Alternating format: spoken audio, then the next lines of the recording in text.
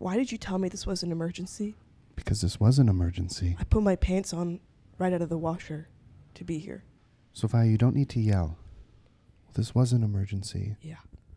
I needed a guest this week Why am I here? to support your friend. Yeah. Sophia, why won't you look at me? Are you happy? No.